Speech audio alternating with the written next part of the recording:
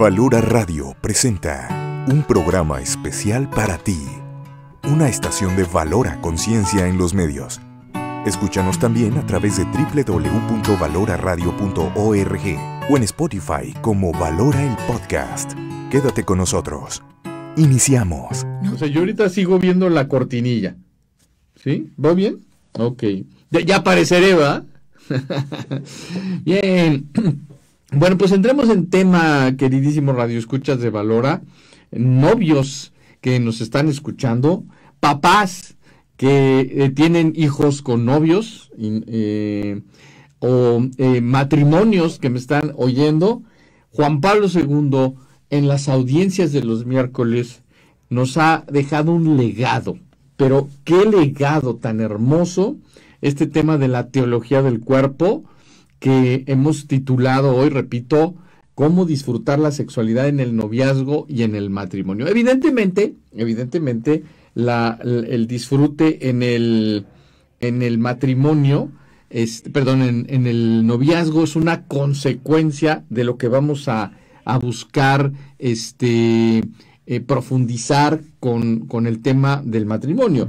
Y ya en las conclusiones, ustedes mismos se van a dar cuenta que efectivamente el, el, noviazgo mm, va a disfrutar de la sexualidad, eh, me estoy adelantando un poquito, eh, precisamente eh, en, ese, en esa espera del deleite y de las bendiciones que la vida mm, conyugal nos ofrece y que además está inscrita en la propia naturaleza. Pero miren, a mí me gustaría aquí tengo la teología del cuerpo, mi querido Ariel, la teología del cuerpo, ¿verdad?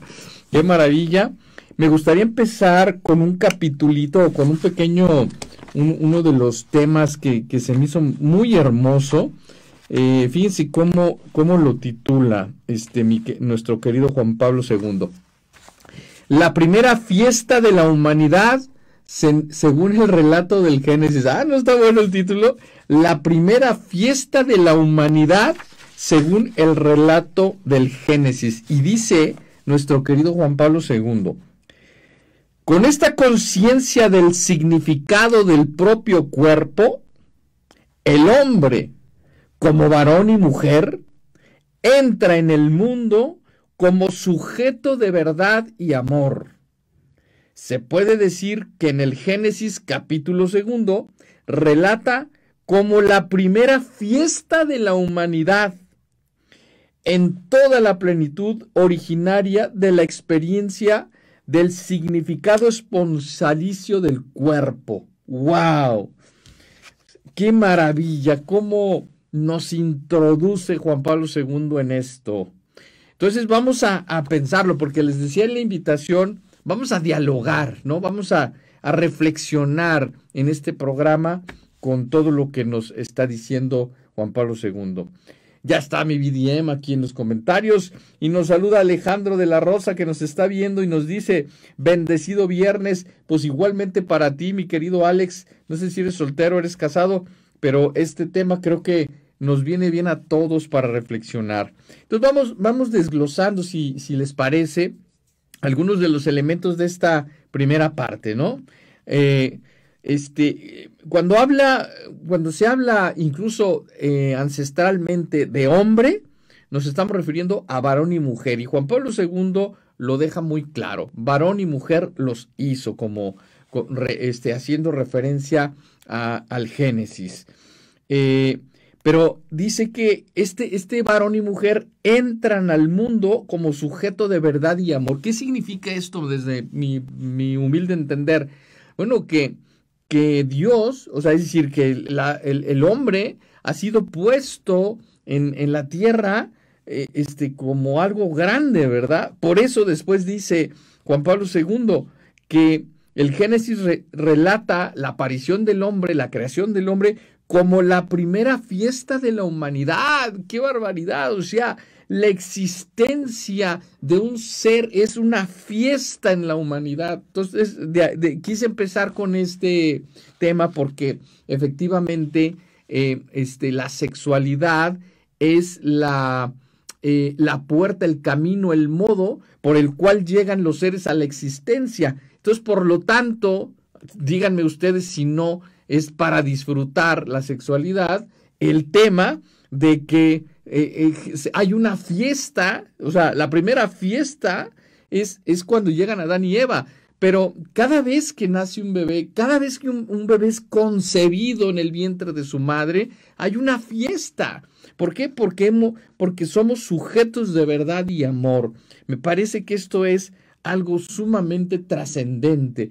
¿Por qué? Porque entonces, eh, entonces esto significa que, que, los novios no pueden eh, este, adelantar la canción, como, como dijéramos, ¿no? O sea, es, es, como si tú este, todavía no llegas a la fiesta, todavía no te reciben en la fiesta y tú ya estás bailando en la calle. Pues, ¿qué, qué te pasa? No te van a decir, ¿qué te pasa? No, pues que yo ya, ya traigo ganas de bailar. No, espérese, espérese, mire hay que entrar, hay que degustar el vino, hay que este, eh, saludar a las personas, sentarnos, llegarán los novios y luego ya bailaremos. Bueno, pues eso es lo mismo, los novios este, en esta fiesta de la humanidad no pueden bailar antes. esa es como la idea, es una, eso es una forma de expresarlo de su servidor, basándome en esta maravillosa este, analogía, en este maravilloso concepto que nos ofrece eh, Juan Pablo II. Dice, como la primera fiesta de la humanidad en toda la plenitud originaria de la experiencia del significado esponsalicio del cuerpo. O sea, ¿qué dice Juan Pablo II tomando los relatos eh, del principio de la humanidad, del Génesis? Que el cuerpo, el cuerpo del varón y el cuerpo de la mujer tienen un significado esponsalicio, o sea, de tener un, una, este, una eh, relación íntima, por eso somos esposos, por eso nos casamos, ¿verdad? Y entonces, el significado esponsalicio del cuerpo significa que cuando se es novio, no hay todavía ese, ese momento esponsalicio donde, donde después dirá Juan Pablo II, citando el capítulo 3, que somos una sola carne, ¿sí? Pero fíjense lo que dice a continuación que me, me, me gusta muchísimo. Y es una fiesta de la humanidad que trae origen de las fuentes divinas y de la verdad y del amor en el misterio mismo de la creación. O sea, son la fiesta de la humanidad es la llegada, la, la, primera fiesta de la humanidad es la llegada del ser al mundo, con lo cual nos queda muy claro que la creación es para el ser humano, ¿sí? Y entonces, por lo tanto, eh, este, eh, esto es un significado de que, de que cuando nosotros existimos, eh, Dios está complaciendo de una manera impresionante. Por aquí nos saluda Luis Bonifaz y espero Alejandro de la Rosa que te esté gustando este programa. Bueno, pues yo les animo a todos a que participen y que me digan qué les está pareciendo. No son mis, no son mis palabras, es realmente estoy tratando de ser lo más fiel posible a todo esto que nos comenta este eh, Juan Pablo II, nos lo dijo desde los años 80 para acá.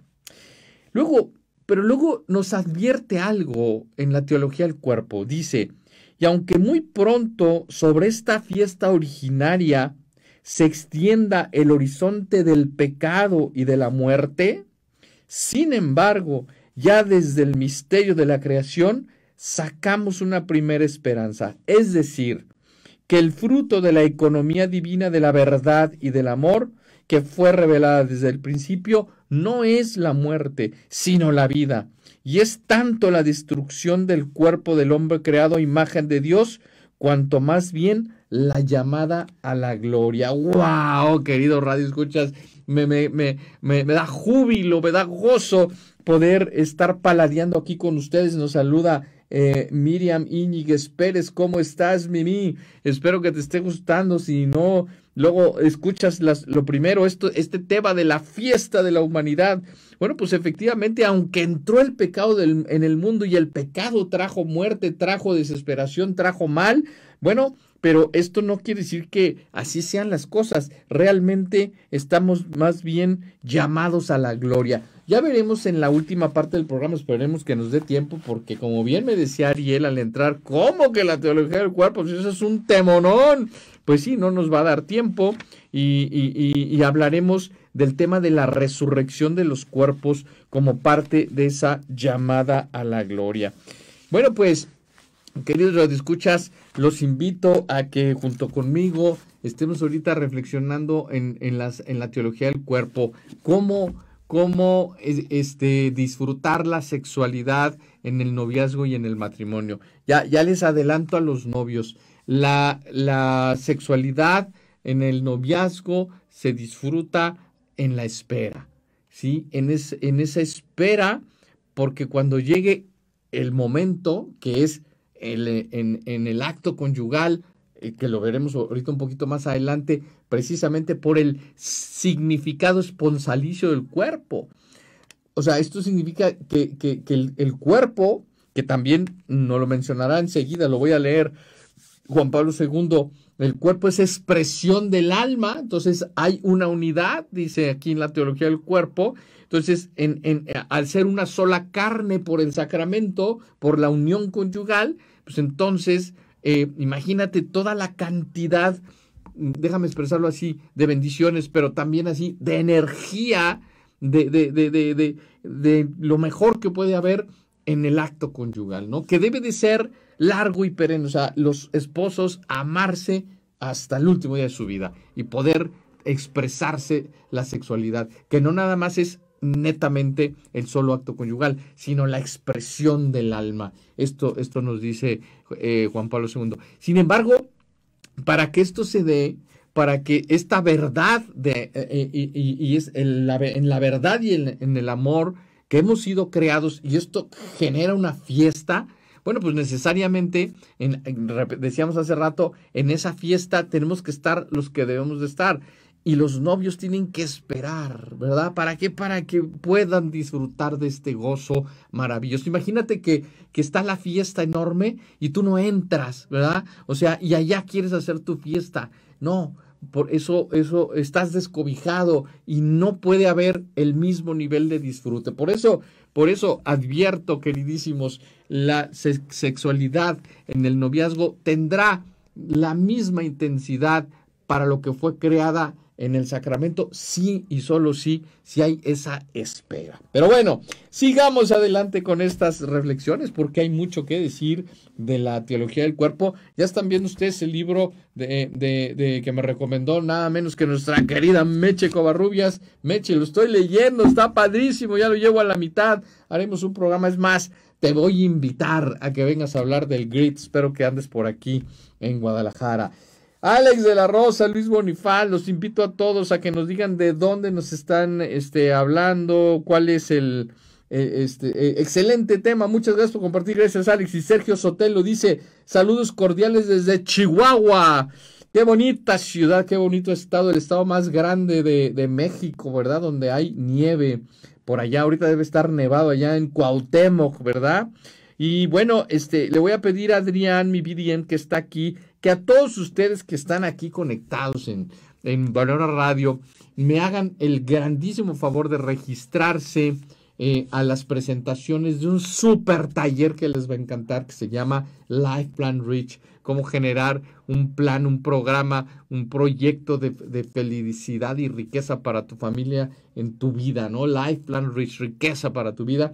Hoy a las 12.30 pm y el lunes a las 12.30 pm tenemos las dos últimas presentaciones del Life Plan Rich que me, interesa invitarlos. Asistan. Son cinco sesiones. La primera es totalmente gratuita y las otras cuatro ya tú verás si quieres hacer una pequeña inversión para que puedas lograr estar en este Life Plan Rich que arranca el día de la Divina Providencia, el segundo día de la Divina Providencia que es en el año que es este próximo primero de febrero. Pues muy bien, sigamos adelante. ¿Qué les parece?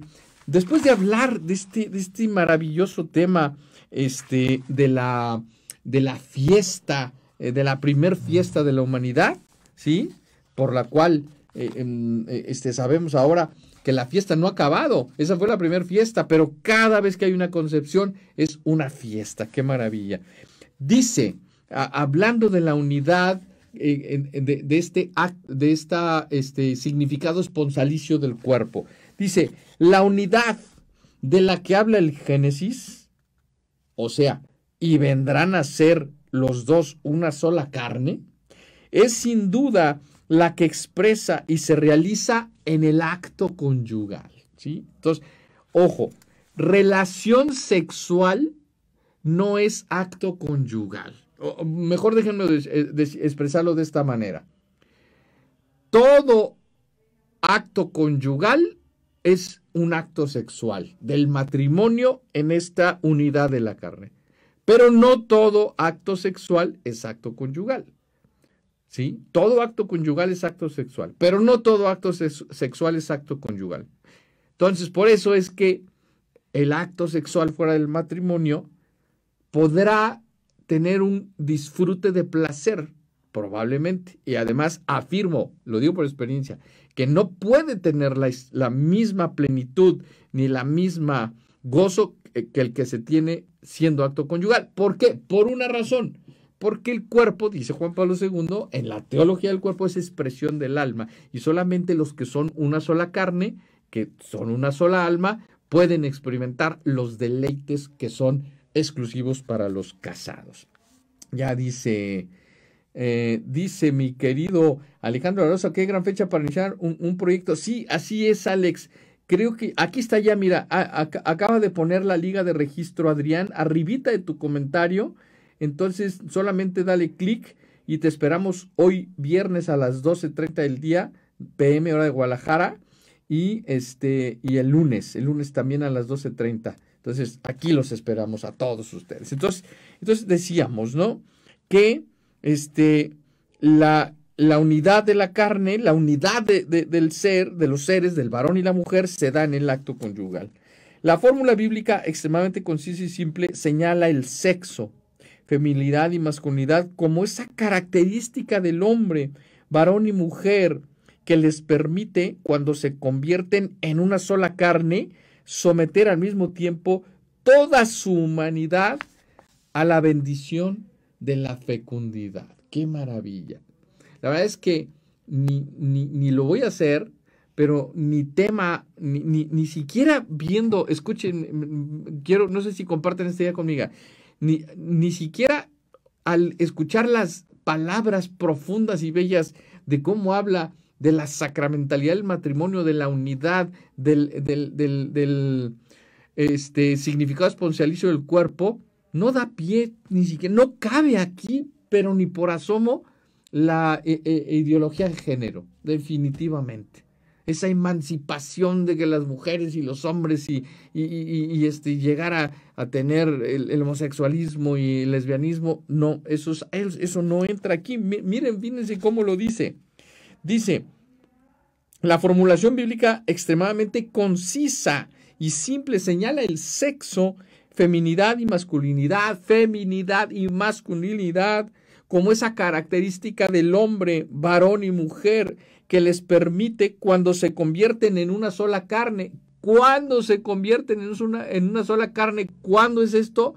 Cuando, cuando le damos el significado esponsalicio, cuando están casados. Por eso, novios queridísimos que me escuchan, esperen, esperen para qué, para lo siguiente, para que eh, eh, ese someter al mismo tiempo toda su humanidad a la bendición de la fecundidad. Qué maravilla, qué maravilla que los esposos con ese amor, esa eclosión, podríamos decir, de ahí vengan los bebés para continuar la fiesta de la humanidad. Bueno, pues que, espero que todos ustedes, al igual que yo, estén este, gozando de esto que estoy diciendo.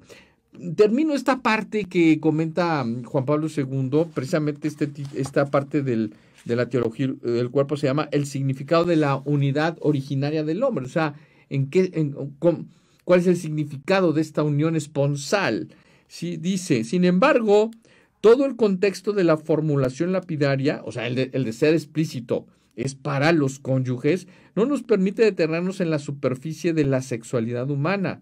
No nos consiente tratar del cuerpo y del sexo fuera de la dimensión plena del hombre y de la comunión de personas, sino que nos obliga a entrever desde el principio la plenitud y la profundidad propias de esta unidad que varón y mujer deben constituir a la luz de la revelación del cuerpo. Pues así, a este nivel, queridísimos, a este nivel está la, la teología del cuerpo. Cómo disfrutar de la sexualidad en el noviazgo y en el matrimonio, pues simplemente, me parece, eh, viviendo lo que se ha dicho desde el principio.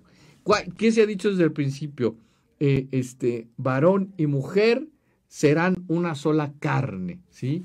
Por eso el, todo el diálogo de, de, de la teología del cuerpo comienza con esa discusión de los fariseos sobre la indisolubilidad del matrimonio, eh, diciendo los, los, los, fariseos a nuestro Señor en aquellos tiempos, en, en, el, en el, capítulo 5 de Mateo.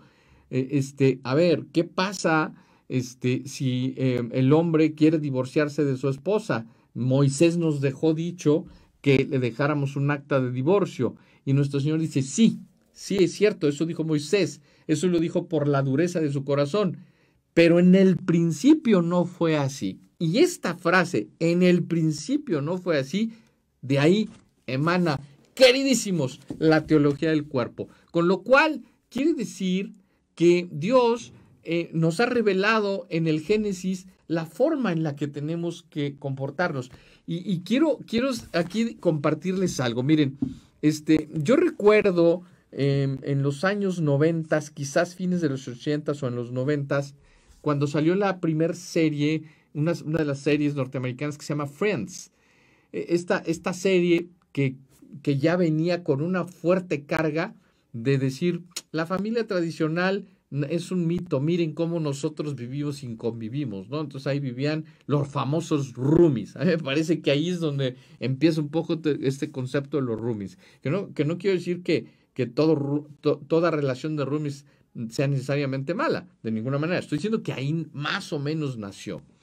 Pero ahora, fíjense, todo este tiempo que ha pasado, desde los años 90 a ahora que estamos ya iniciando la segunda, tercera década del, milenio nuevo, bueno, ahora hay una mentada serie, Dios mío, que se llama Family Modern, Familia Moderna, donde simplemente ver esa serie desde la perspectiva de la teología del cuerpo, es decir, qué barbaridad, hasta dónde ha llegado la mente humana a descomponer lo que Dios ha creado. Porque así es, así Dios se ha creado. Nadie puede decir, vamos a, cambiar, no sé, el aspecto de la luna, ¿no? Porque no nos gusta, hay que ponerla verde.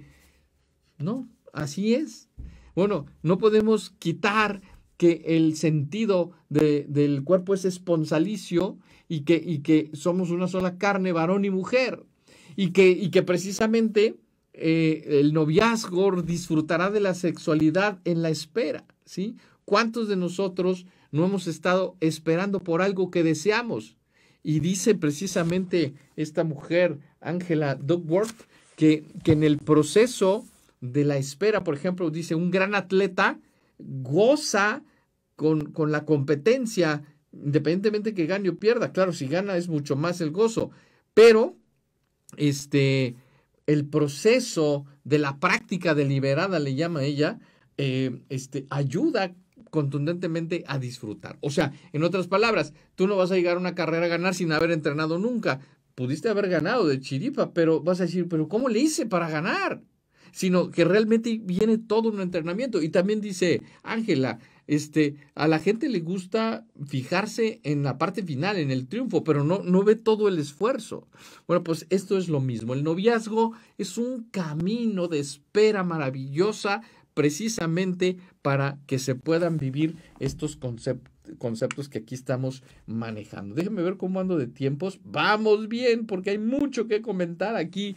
No, e, e, es, es, es realmente inagotable la teología del cuerpo, todo lo que Juan Pablo II nos va diciendo, pero yo espero que con esta primera idea de la fiesta, la primera fiesta de la humanidad, estés como yo realmente este, extasiado en este sentido. Pero más, dice más Juan Pablo II, Dice, de este modo, en el, en el pequeño subtítulo de la unión conyugal, según el libro del Génesis, la unión conyugal, dice, de este modo se cierra el ciclo bíblico de conocimiento-generación. Impresionante, porque miren, más adelantito hace una referencia, eh, aquí lo tengo, a Adán y Eva, vamos a ver, aquí está. La frase, Adán conoció a Eva, su mujer, que concibió y parió. Entonces, el conocimiento al que se refiere la Biblia es precisamente un conocimiento que se da por esa privacidad, esa intimidad, esa relación que se da del sentido esponsalicio del cuerpo. ¿Sí? De hecho, la Virgen María, ustedes recordarán cuando este cuando em, el, ángel le dice que, está, que, que, va a tener un bebé, le dice, ¿y cómo será esto si yo no conozco varón? Ah, bueno, ahí está eh, esto que dice Juan Pablo II, pero, pero, pero lo, lo, este, lo termino de acotar con, con otra cosa, es conocimiento, dice, espérame, ahí donde ya se me perdió la hojita, aquí va a estar, aquí va a estar, eh, aquí está conocimiento, ¿sí? Dice conocimiento generación. O sea, las, el sentido de las palabras tan profundo que debemos de tener y no vaciar de contenido las palabras nos dice que cuando un varón conoce a una mujer es que está entrando en la profundidad de su ser y esto puede dar ocasión a la generosidad. Por eso es que debe haber esa espera en los novios, ¿verdad? Este eh, dice eh, Quintero Méndez, buenos días hermano en Cristo, gracias por compartir los conocimientos que Dios le ha dado. Dios le bendiga, saludos desde Nueva York, New York, New York, qué maravilla. De allá es el famoso Yogi Berra, ¿verdad, mi queridísimo? Esto no se acaba hasta que se acaba. Pues qué bueno que se, está, a haciendo un friazo por lo que veo aquí en tus iconos, que por tus eh, emojis este, que pones por aquí, friazo, ¿qué está nevando? ¿Qué está la cosa por allá? Ya nos dirás. Dice alguien de Valora Radio, que es de aquí, dice, abrazo fuerte mi queridísimo Joaquín, la teología del cuerpo cambió mi vida. Pues, pues yo no sé tú qué opines, ojalá que puedas saber quién es, no sé si es Meche o es Lalo, quién eres mi queridísimo este, Valora Radio que me está saludando. Dice, la teología del cuerpo cambió mi, vida. Bueno, fíjense, yo, yo la teología del cuerpo siempre la había eh, escuchado, evidentemente, porque quienes seguimos al magisterio de la iglesia, a los grandes eh, este, seres que Dios nos ha puesto, como Juan Pablo II, Benedicto XVI, etcétera, pues uno está al pendiente, la teología del cuerpo muy mencionada, pero no fue hasta el año pasado que la leí completita. Y, y efectivamente hay un cambio en mi vida, como la debemos de experimentar todos, precisamente por esa profundidad del conocimiento del ser humano y de el, del hombre en cuanto a varón y mujer. Y, vuelvo a repetir, no sé si estés de acuerdo conmigo, va a Laura Radio, es uno de mis colegas aquí en la estación, que ¿por qué cambia la vida? Pues porque al nosotros no entender esto, pues podemos irnos por caminos equivocados caminos que necesariamente nos cobrarán la factura en un determinado momento y habrá una cierta infelicidad. No quiere decir que Dios no sea capaz, claro que Él, lo puede todo, de corregir la vida de sus hijos, pero si se puede actuar eh, o si se puede corresponder a la bendición que Dios da de eh, preservarnos de las caídas, ¿sí? Por ejemplo, quiero referirme a los novios. Si los novios esperan, disfrutarán. ¿Cómo disfrutar de la sexualidad en el noviazgo? En la espera, queridísimos, porque habrá cada vez más ansia, más ardor, dice, dice el mismo libro del Génesis, más ardor de, de deseo de estar juntos, pero al saber esperar, vendrá con la unión esponsal el verdadero significado del cuerpo, que es expresión del alma. En fin, todo esto dice nuestro queridísimo Quintero Méndez, que está fríísimo allá en New York, New York. Qué padre estar por allá, ¿verdad? Muy bien.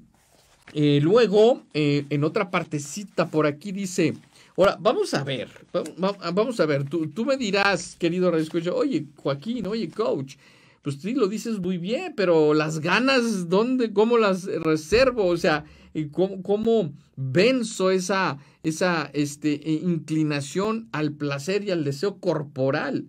Que, que será definitivamente una, este, em, este, eh, una manifestación de, de, de, de, parte de la naturaleza. Bueno, pues precisamente entendiendo el punto 32 de la teología del cuerpo que dice la concupiscencia hace perder la libertad interior de la donación mutua. Ese, ese defecto, esa, esa caída de la naturaleza, sí, que hace que solo se quede en el placer corporal eh, sin, sin mirar a la unidad.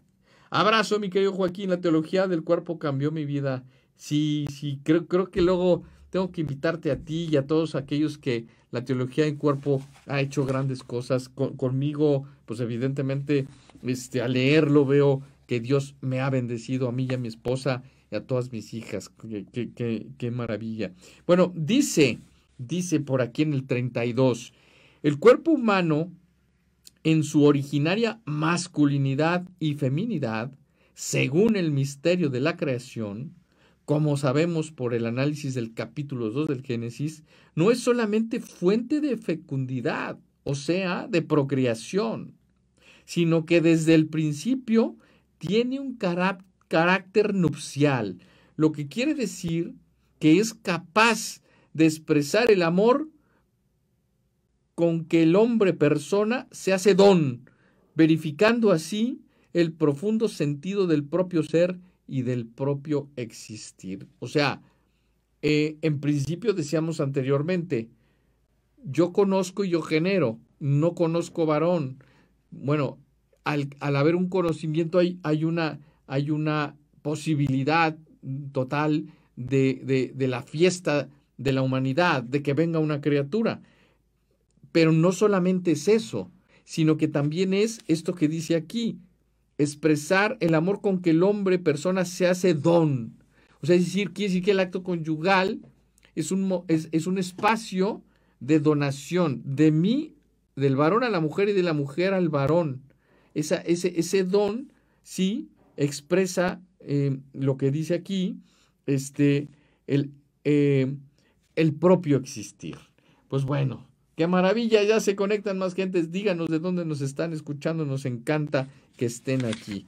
Y por acá, en el mismo punto 32, dice eh, Juan Pablo II, el cuerpo humano en su masculinidad y feminidad ha perdido casi la capacidad de expresar el amor en el hombre en que el hombre persona se hace don conforme a la más profunda estructura y finalidad de su existencia personal según hemos observado en los precedentes análisis. Si aquí no formulamos este juicio de modo absoluto y hemos añadido la expresión casi, lo hacemos porque la dimensión del don, es decir, la capacidad de expresar el amor con que el hombre, mediante su feminidad o masculinidad, se hace don para el otro, en cierto modo no ha cesado de empapar y plasmar el amor que nace del corazón humano. Entonces, esta parte de la concupiscencia nos dice que efectivamente eh, existe por la caída de, la naturaleza humana con el pecado original una tendencia a que no haya la donación que, de, que en el principio hubo. Y entonces existe solo esa satisfacción personal. Sin embargo, eh, nos expresa Juan Pablo II que, que a final de cuentas, aún con la caída, la esperanza, ¿no? Lo, lo, menciona como esperanza. Eh, el, el, acto conyugal nos repara para la unidad. Entonces esto me parece algo sumamente hermoso porque quiere decir que, que el, sentido esponsalicio del cuerpo en el acto conyugal que, que, viene eh, este, por el sacramento una sola carne, o sea, somos una unidad, viene protegido de esa posibilidad de, de que no haya donación. Claro, claro está que si en los matrimonios se descuida este sentido esponsalicio del cuerpo, manifestación del alma, entonces obviamente nos quedaremos en un plano meramente humano donde se buscará solamente el placer y no habrá esa donación. Creo que ahí está un poquito la clave, queridos esposos, de que busquemos una unidad eh, conyugal mm, para que cada uno de nuestros este, actos conyugales nos lleven al sentido esponsalicio, la unidad de una sola carne, que es donde se da el acto conyugal, único acto sexual que está diseñado y que ya lo dijo el mismo Juan Pablo II aquí citado, no solo para la procreación, sino para el enriquecimiento de la unidad de los esposos. De, que, dice, ¿quién es el autor del libro que está leyendo? Pues nada menos que Juan Pablo II, mi queridísimo Quintero Méndez.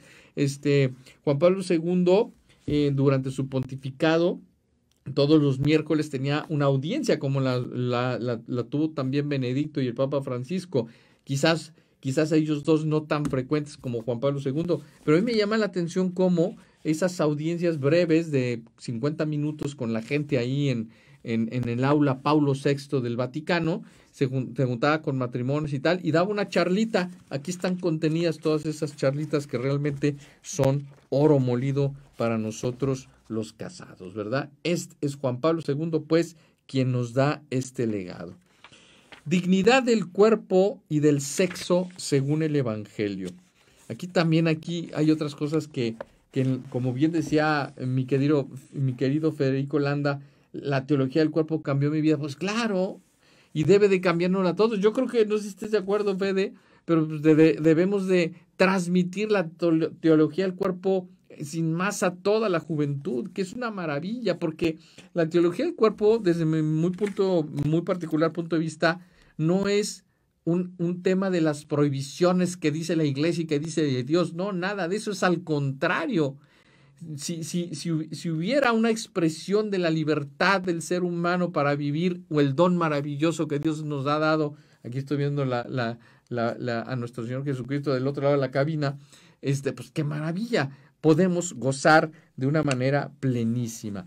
Y además, siempre, los casados siempre, y no solamente siempre, sino mejor, se puede disfrutar mejor, ¿verdad?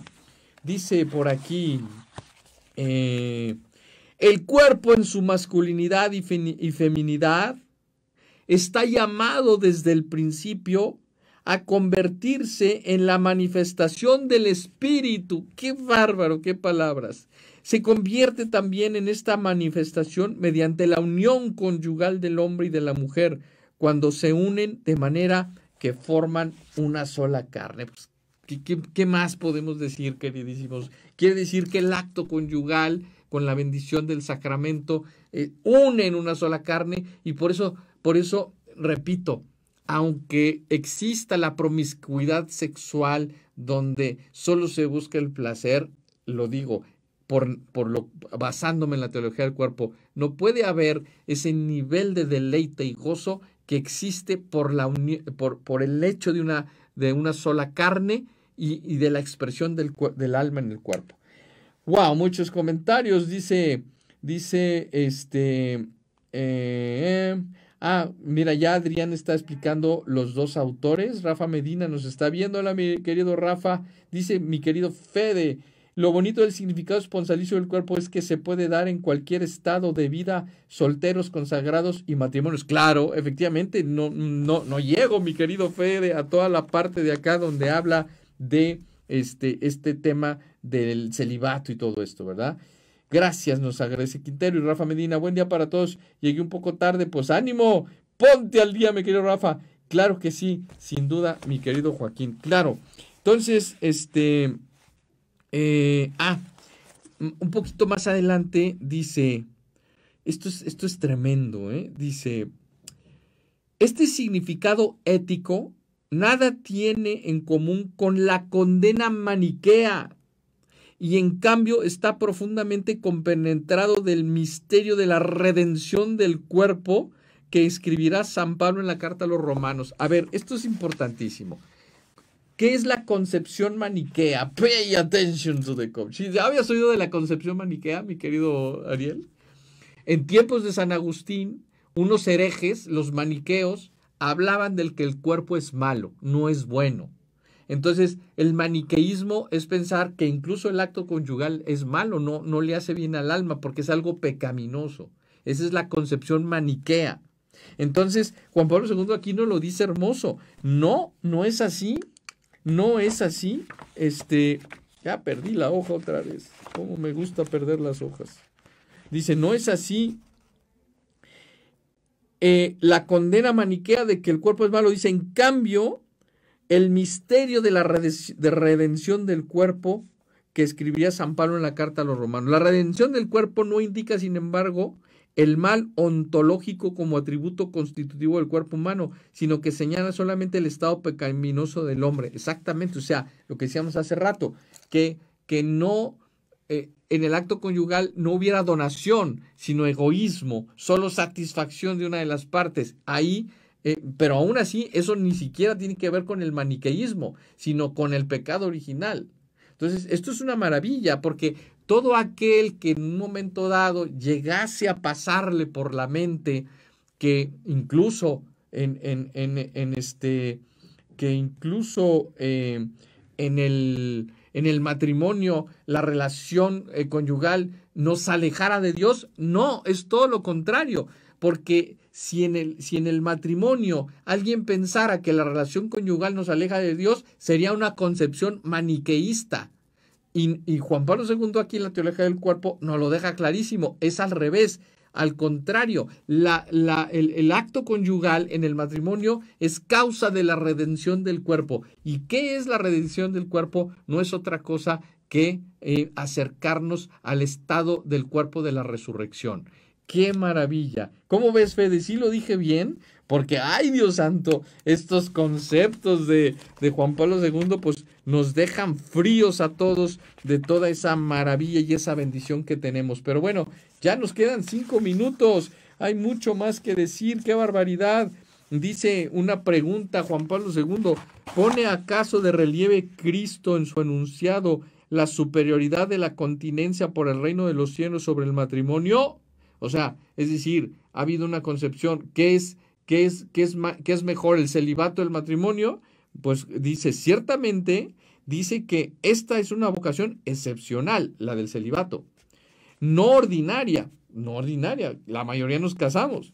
Además afirma que es muy importante y necesaria para el reino de los cielos, es decir, aquellos que entregan su vida con el sentido esponsalicio, como dice Federico, eh, este, a experimentar esta unión conyugal con Dios, sí, es necesaria. Si entendemos la superioridad del matrimonio, en este sentido debemos de admitir que Cristo la señala implícitamente, sin embargo no la expresa de modo directo. Solo Pablo, San Pablo, dirá que los que eligen el matrimonio hacen bien. Y todos los que están dispuestos a vivir la continencia voluntaria, diría, hacen mejor. O sea, no, no es que esté mal el matrimonio como se pudo haber pensado, sino que realmente está bien, ¿verdad? Y por último, Mm, eh, ¿Acaso en la primera carta a los Corintios considera el apóstol el matrimonio exclusivamente desde el punto de vista del remedio de la concupiscencia? Es decir, que, que solamente por ese, ese deseo de satisfacción sexual el matrimonio es, dice, como se solía decir en el lenguaje teológico tradicional, las citas hechas podrían dar la impresión de atestiguarlo. En proximidad inmediata a las formaciones precedentes, leamos una frase que nos lleva a enfocar de manera diferente eh, eh, este, que está en la carta de los Si quisiera yo que todos los hombres fuesen como yo, pero cada uno tiene de Dios su propia gracia, este una, aquel otra. ¿Qué quiere decir? Que, que todos aquellos que reciben la gracia al celibato es una gracia para ellos y ellos no tendrán eh, este, las luchas que podemos tener los casados. Pero también es cierto que los casados tenemos una gracia especial para la vida conyugal. Bueno, entonces, este, aquí como que se atoró un poquito, sí, estoy bien ahí, este sí, entonces es el celular. Aquí algo pasó en el celular que ya no los veo, ya no escucho sus comentarios, pero seguramente aparecerán. Pues así está la cosa, mis queridos radioescuchas. Espero que todas estas reflexiones que eh, estamos haciendo, este, pues eh, definitivamente ayuden. Yo les quiero invitar otra vez, ahorita que estamos terminando el programa, a que aquí en la liga que ya pusimos en los comentarios, eh, te registres a Life Plan Reach. es un taller de vida, de, de programación de tu vida para este año que comienza y para los años venideros. No, no, lo, no lo, te lo puedes perder, está padrísimo. Son cinco sesiones, la primera es gratuita y las otras cuatro tú ya verás si quieres invertir. Hoy a las 12.30 del día, Live Plan Rich presentación. El lunes hay otra y arrancamos el programa el próximo primero primero de febrero a las 6.30 de la tarde. En fin, estoy muy contento y le pido a San Juan Pablo II que interceda para que este programa pues dé los frutos que eh, la, digamos, la profundidad de las enseñanzas que nos da Juan Pablo II en la teología del cuerpo y que ya lo estamos viendo aquí en los comentarios, nos ha cambiado la vida de muchas personas pues eh, definitivamente sea para bien de todos ustedes. Próxima, tenemos más programas, no es este, ¿eh? este estoy a punto de, voy a la mitad, más o menos aquí, miren, aquí voy, pero ya este, vendrá un programa, vamos a invitar a Meche Covarrubia, le voy a decir a ver si quiere venir conmigo aquí a, a, dialogar de este tema del grit. Y también pues vienen otros libros y otros invitados y otras temáticas que yo tengo muchas ganas de compartir con todos ustedes, pero especialmente hoy quedo muy contento de que estemos aquí en el programa eh, hablando de este tema tan hermoso que es la teología del cuerpo, cómo disfrutar, cómo gozar las relaciones sexuales en el noviazgo y en el matrimonio, ya lo vimos a través especialmente de este eh, sentido esponsalicio del cuerpo eh, en, la, en, en, en, una sola carne que nos da el acto conyugal y, y que da la recomendación, la recomendación de que la sexualidad se disfruta en el noviazgo, en la espera, en la espera de la, llegar a una sola carne y que además, por otro lado, eh, contribuyamos a algo que a mí me ha fascinado, como lo expresa Juan Pablo II, que es la fiesta de la humanidad. ¿Cuál es la primera fiesta de la humanidad? Adán y Eva. Y cada vez que hay una concepción, hay una fiesta. ¿Por qué? Porque se está dando eh, la, la, las bendiciones de Dios. Bueno, Adrián dice, convendrá hacer un programa más sobre la teología del cuerpo, es muy valioso. Sí, Adrián. Sergio Sotelo dice, se vive en una sola carne, lo bueno y lo malo. Dios pone pruebas para que con la verdad de su palabra y el Espíritu Santo podamos ser mejores. Así es, Sergio, y de su mano podremos mejor. Y ya nos está diciendo Adrián aquí que este, puedes eh, registrarte a los talleres que tenemos. Bueno, mis queridísimos, nos vemos el próximo viernes con un librito más que por ahí les vamos a compartir y por favor estén en contacto con nosotros, eh, compartan el programa y nos estaremos viendo próximamente. Que Dios les bendiga en este fin de semana, cuídense mucho y a disfrutar de lo bueno de la vida, los casados como Dios nos, lo, ha dicho y los novios en, ese, en esa espera constante porque llegará el gozo maravilloso. Muchas gracias, nos vemos.